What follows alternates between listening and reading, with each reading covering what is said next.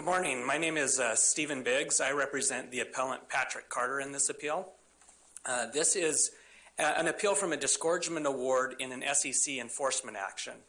Uh, and for those disgorgement awards, the SEC uh, must satisfy uh, the following standard to receive that as a remedy for a securities law violation. First, the SEC bears the burden of proving a reasonable approximation of the amount of a defendant's net profits attributable to the securities law violation. If the SEC meets that burden, then the burden shifts to the defendant to show that the approximation was not reasonable. This case raises two issues under that burden shifting framework. First, was the SEC required to support its reasonable approximation with admissible evidence? And second, if it was, was the testimony of its accountant about the amount of money uh, Carter received from the sale of his founder shares uh, admissible un- as summary evidence under Rule 1006. Counsel, a number of courts, although not this one, have held that the requirement to use the rules of evidence is waivable and that it's in fact waived by an agreement similar to the one that your client signed. What's wrong with that? Well, first here, th- there wasn't a waiver, um, and the cases that, that were cited. I, I, I'm sorry, I thought that uh, Mr. Carter agreed that the uh, motion could be resolved using affidavits and other documents without regard to the standards of summary judgment contained in the rules of civil procedure, which would seem to allow a broad range of materials. Now, I, I, the reasonable reading, I think, of, of that particular provision in the consent judgment is what the Western District of Washington in the SEC v. Marathon mining case said. Said the court would review the SEC's motion essentially as a trial on the papers in which the court makes factual determinations based solely on the documentary evidence the parties provided.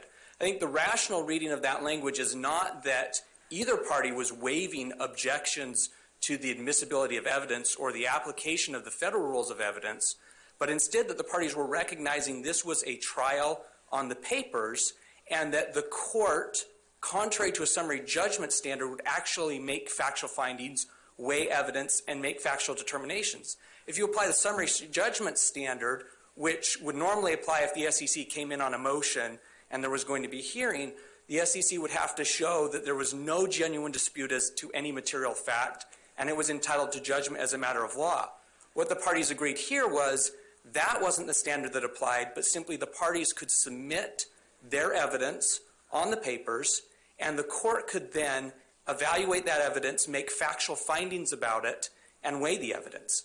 Uh, that, that's can what. I, can I ask you, though, is because there's another agreement in this case that isn't really focused on in the briefs, but Carter, your client, agreed th- through the consent agreement that the allegations of the complaint shall be True. accepted as and deemed true by the court um, for purposes of dis- determining the disgorgement amount. And one of the complaint's allegations is that he received $14 million for the founder shares.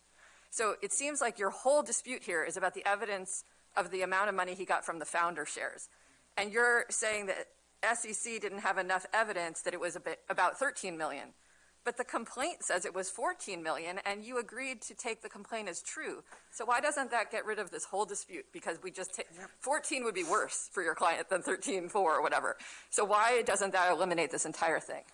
Uh, that doesn't eliminate. The SEC chose not to rely on that allegation in its motion for its disgorgement award. It didn't present that as the evidence it was relying on. And the complaint does contain that allegation. That says the court can. So I don't. Why aren't we the court at this point? I mean, why? why I, I don't understand. I, well, go ahead, but I'm not sure I understand that response. Okay. Um, so that allegation is in the complaint. And what the court was supposed to look at is what was the, under the Liu case, what the court's looking at is what was the net profit that the defendant received from the securities law violations.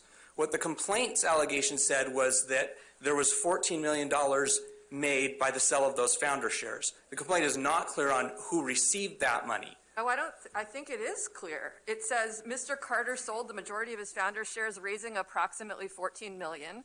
And and if you look at the calculation of the disgorgement, um, which is at ER 304, it's just the first line of the calculation that we're talking about. So the founder shares proceeds on three, ER 304 says 13 million, 400,000, et cetera. And this is just exactly founder shares proceeds, isn't it? Well, that's assuming all those proceeds were paid to Carter. Um, Well, it says, so it raise, I mean, how else can that be interpreted? How else can the complaint be interpreted? I, I think that the, the complaint's allegations are, are that. The complaint also has a different spot where it talks about how he received a little over three million from the sale of the founder's Oh, shares. and so then there's a, there's paragraph 134 of the complaint. I, I was reading earlier from, uh, paragraph four, I think, but ER 41 at paragraph 134 says, Carter made nearly 14 million through the sales of his founder shares. That seems like Carter got the money and it was 14 million from the sales of the founder shares. So that's in the complaint and he, he said we could take all of that as true. I, I think part of the issue here is the SEC then came forward on its motion and presented a different figure. Well, they didn't have to. So it- would you rather have it be 14 million? It was, yeah, it's better for you. Well, I, I, it, it was the SEC's burden to come forward with that, and they presented a different number. And that's part of the issue here. But It's a lower number, It's so better why isn't for your error harmless? It, basically, this is a harmlessness argument. So i- they came up with a better number for you, and you're saying we don't like that better number. But if you win, it's going to be worse for you. So why isn't this error harmless? Uh, I, right here is, again, this is the SEC's evidence that it came forward with the motion uh, was its accountant's declaration. And its account tried to break these things down. I, I understand that the complaint has very raw numbers that are alleged in it. The accountant then came forward with specific numbers that he said were supported by these records. But so far, counsel, you have not explained why we can't simply accept what's in the complaint when um, it, uh, it states the allegations of the complaint shall be accepted and deemed true by the court. Aren't you stuck with that? I, think he's, he's stuck with that. If the SEC had come forward and said, But why does the SEC have to do anything? Why couldn't the court have simply said, why can't we just say, well, we'll just look at the complaint, it's deemed to be true, end of discussion? We don't have to even deal with all these evidentiary matters at all. Well, uh, under the burden shifting framework, it is the SEC's burden to come forward with the evidence. Not if your client says that the allegations of the complaint shall be accepted and deemed true. And the, the district court, I think part of the issue is below, no one relied on that 14 million. Well, the I court understand- quoted it in the judgment, in, in the, um, in the order, excuse me. I, I don't believe that the court, uh, and I never saw where the court actually Oh, it's relied at on that page number. ER six. It, the, the, the court, it doesn't stop there, but the court quotes that in its discussion, but ended up, as Judge Friedland points out, doing something slightly more advantageous to your client. And I never saw that, that actual allegation of the 14 million quoted in, in the court's minute entry. Um, the reference to the 14 million in the court's minute entry at ER6 is the number that the uh, SEC's accountant gave in his declaration as the final, his final disgorgement calculation.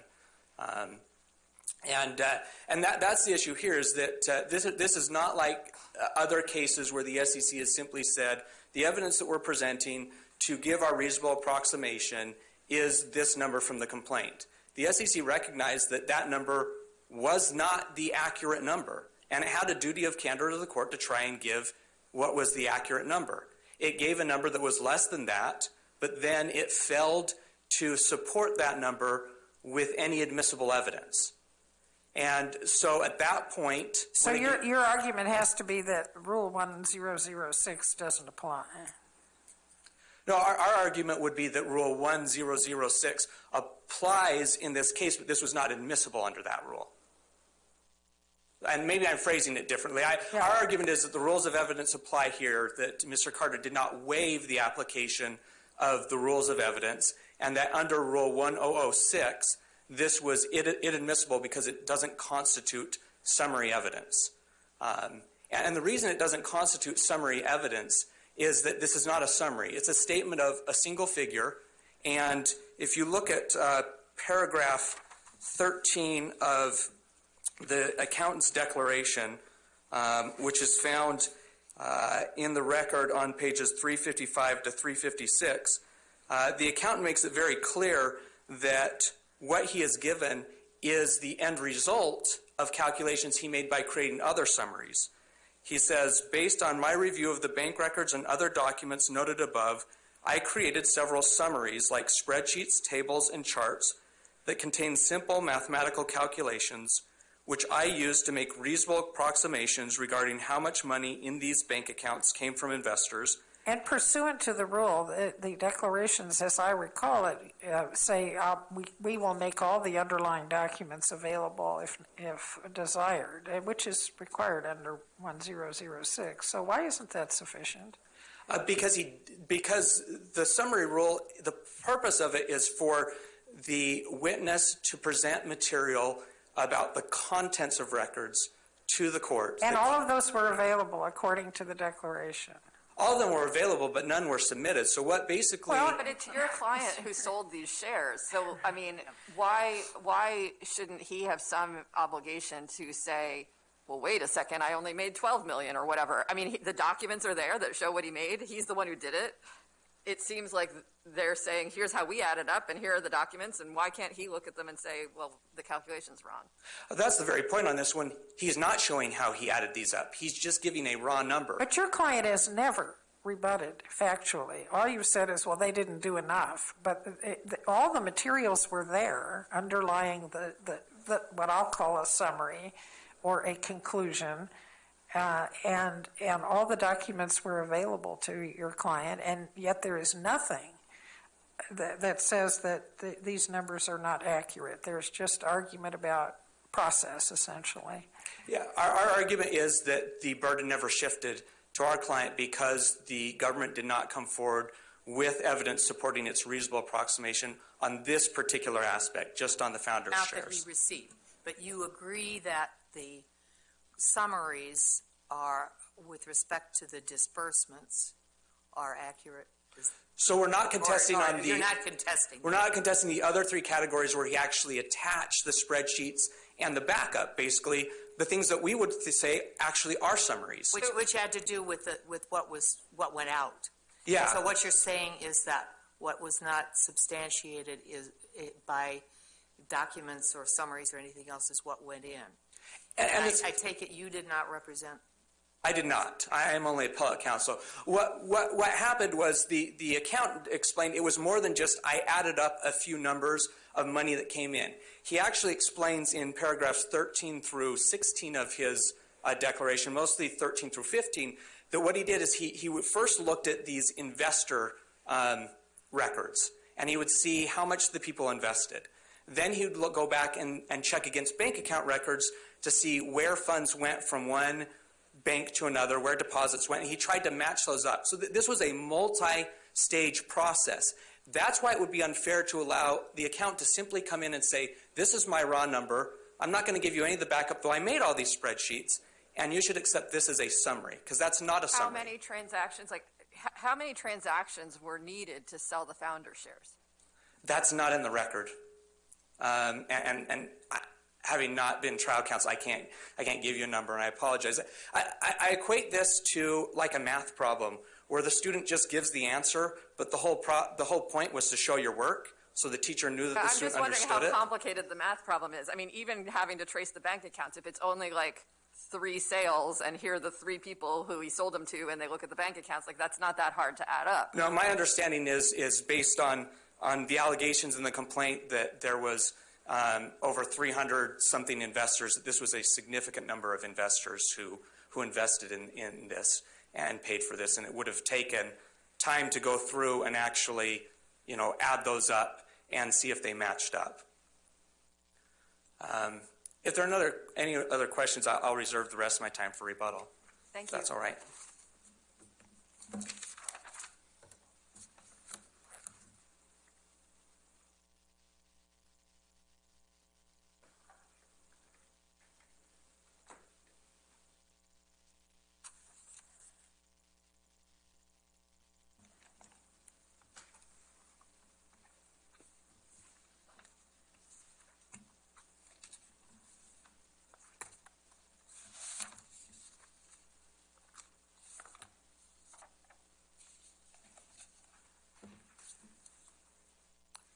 Morning, Your Honors. This is John Rady on behalf of the Securities and Exchange Commission. The question in this appeal is whether the district court abused its broad discretion in calculating and ordering disgorgement based on the Commission's evidence of how much money Carter raised from the sale of his own founder shares in 808 Renewable that Carter chose not to rebut with any evidence of his own. When the district court denied the Commission's previous motion for disgorgement, it laid out its concerns with the Commission's evidence, and it made clear that Carter was entitled to depose the Commission's accountant and obtain all relevant documents so that he would have an opportunity to rebut the Commission's proposed disgorgement amount. The Commission's renewed motion addressed the court's concerns, and Carter has presented no reason to second guess the district court's determination that the Commission met its burden of persuasion to reasonably approximate disgorgement. Carter argues that some portion of the calcul- uh, excuse me, Carter argues that the portion of the accountant's declaration concluding that he raised some $13.4 million from the sale of his own founder shares was inadmissible, but that evidence is admissible under Rule 1006 as, as summary evidence. The district court was well within its broad discretion to consider it in the context of an equitable determination about the appropriate remedy, and especially as has been pointed out, when the complaint twice alleged that he raised for, approximately $14 million from the sale of his own But, founder but shares. tell me, the, the first, there was an original uh, motion uh, by the SEC that was very conclusory, and that was rejected. Is that correct? It's, More it's or less? Uh, More or less, I think that's accurate, Your Honor. The, the district court was concerned, I think, with um, specifically whether there was enough information. The court, the court sort of went through it, and there were two specific sort of transactions that Carter tried to argue that um, it was unclear whether from that uh, declaration whether they were actually included in the proposed disgorgement amount. I think one of the district court's conclusions was, well, it's sort of so unclear that he's not able to come forward and actually come forward with specific rebuttals. So we want the we want the commission to be able to present that type of evidence for Carter to engage in that. And I think that's you know the commission was endeavoring to do that, and that's exactly what it did in this case. Okay, so, so the, the basis for the calculations as to all the disbursements seem there and are not challenged. That's that's correct. Carter's not And- raised that. And the, what is challenged is the basis for the calculation of what he received. That's that's correct. And now, The- how, the what is influence. the, how do we know what, what that is? Well, I think we know it from a num- number of sources. First of all, we know it from the account, the declaration. And I would point the court specifically to paragraphs 14 and 17 of that declaration. I think 14 is the most on point um, for laying out how the accountant determined what were inflows um, in general terms. And paragraph 17 of that declaration goes through. But Um, I, I can't figure out how this number was achieved. I mean, how, it, can you point to any case where Rule 1006 allowed admission of something where there's just no way at all to follow someone's work and check whether they did it right? I mean, it doesn't say really anything specific about how this calculation was done. Well, Your Honor, I- disagree with that characterization somewhat to the extent that which I think paragraph 14 is really going through the documents that he reviewed and the methods that he used. And I think paragraph 6 and 13 also reference the types of you know, this relatively simple mathematical calculation. But wouldn't you usually have a chart? I mean, there, for other parts of the calculation, there are charts, and it's like, you know, this one is 100,000 and this one is 200,000, and it allows someone to go to that document and see whether it was transcribed correctly. But this is just a lump. There's nothing that tells us how you get to 13.4.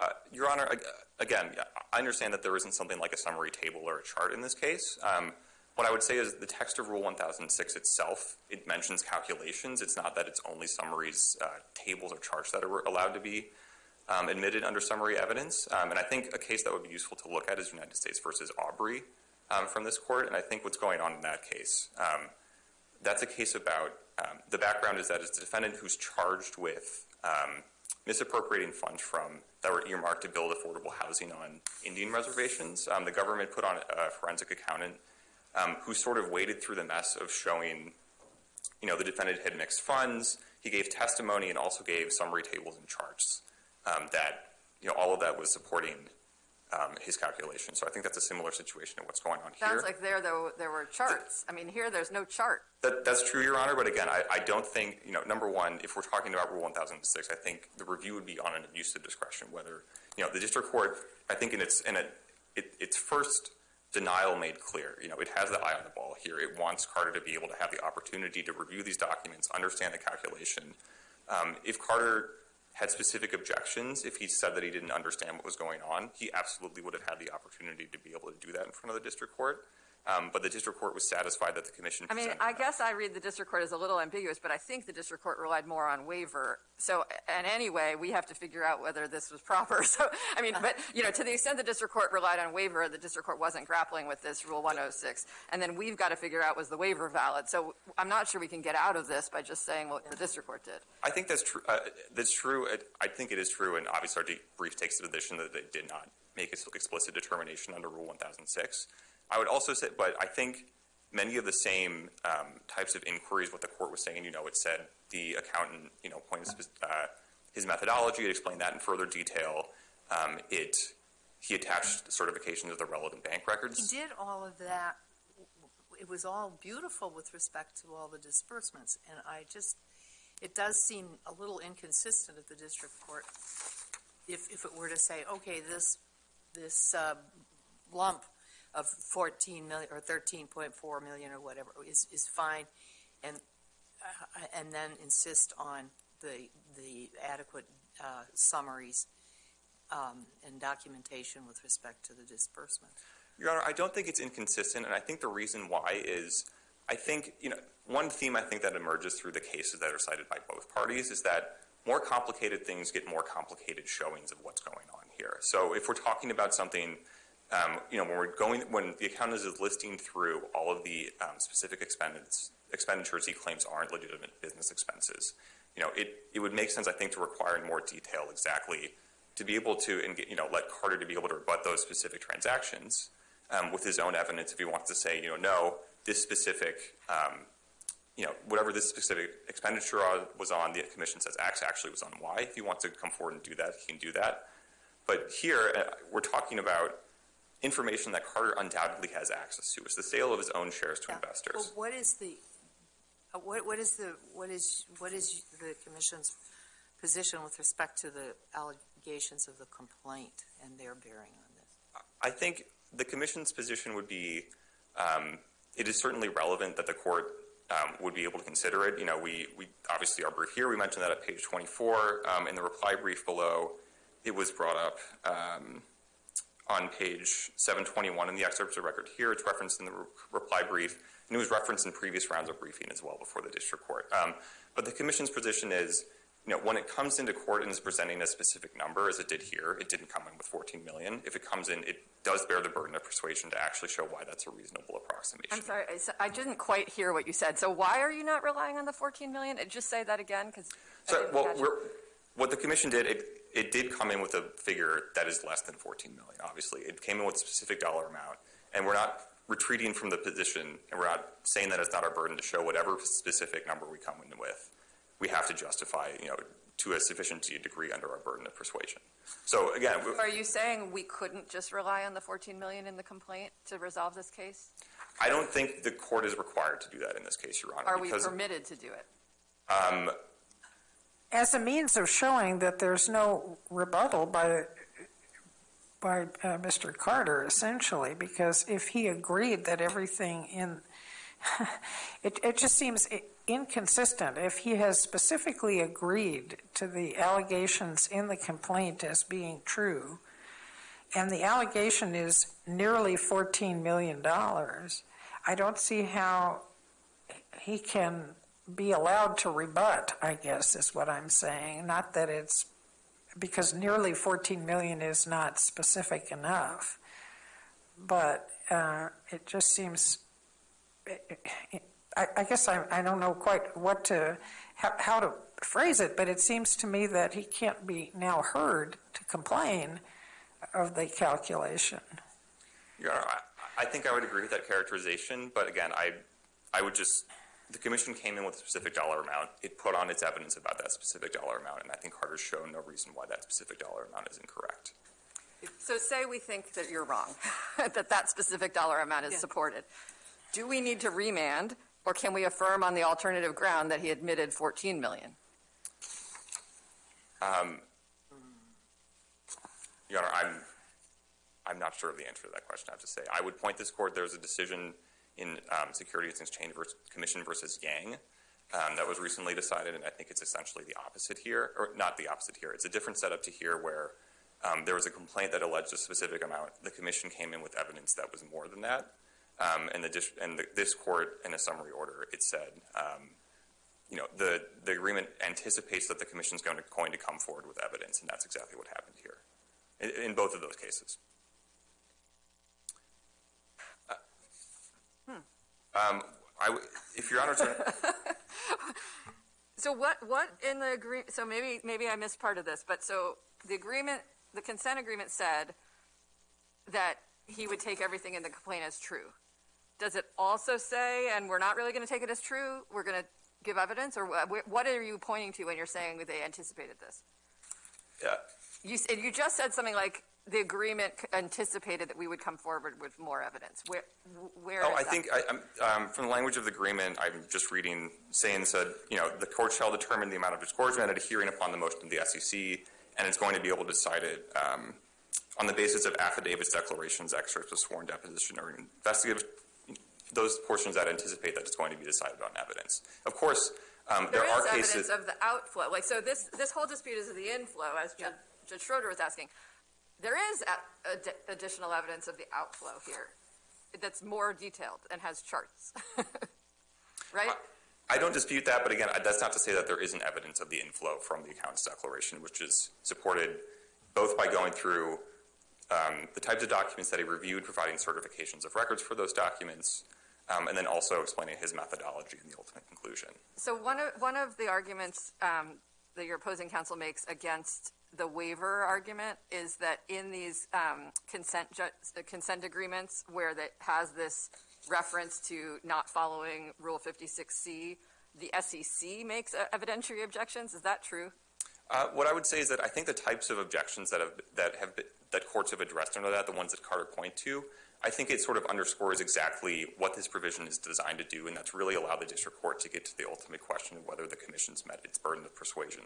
So just walking through two of those. Um, the first one in SEC versus Voight, I think the issue there was that the court found that specific declarations weren't relevant to the determination of what the disgorgement amount was. There were, there were declarations that were essentially trying to re-argue the liability question. You know, these weren't fraudulent transactions. There wasn't a Ponzi scheme going on here.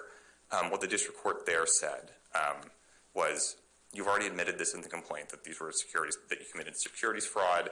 This isn't relevant to calculating the disgorgement amount, and so I'm not going to consider them. Um, in another case, this is the Rainmaker case. But I- think the theme is that, you know, in the Rainmaker case, the issue was that there were essentially on the ground fact witnesses, and the court was concerned that it didn't, that those witnesses didn't provide any reason, any reason to had personal knowledge of what was going on at the time. So I think those are completely in line with the idea that what this is really allowing the district court to do is to give it the discretion to, to consider evidence that it would find reliable and persuasive to calculating disgorgement. amount. But, but you're, so you're really saying that when he agreed to the allegations of the complaint, what he was doing was, was agreeing that, that he had committed fraud and all these other things that, or was that what you? I don't But not, not the- necessarily the amount. No, not at all, Your Honor. Um, Okay. He is agreeing to the allegations of the complaint. I'll- guess the only point is that uh, I think this is a little bit of a different case than what uh, I think the best sort of counter to this case is SEC versus Linden. That is a case where um, the district court did rely on the allegations of the complaint alone. I would say the difference there is that the, there was no approximately there. Um, there were specific dollar figures that were alleged and that allowed the district court just to add very specific dollar figures up to get to the amount of disgorgement. So I think that's the distinction there. Um, I'm happy to answer any other questions um, that your honors may have as my time is getting low, but um, if nothing else, Counsel? rest on briefs. Thank you. Let's give two minutes for rebuttal.